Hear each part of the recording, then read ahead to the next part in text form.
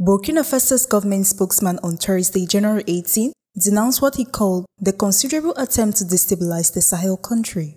He declared that an attempted coup had been foiled and those accused of plotting to overthrow the government arrested.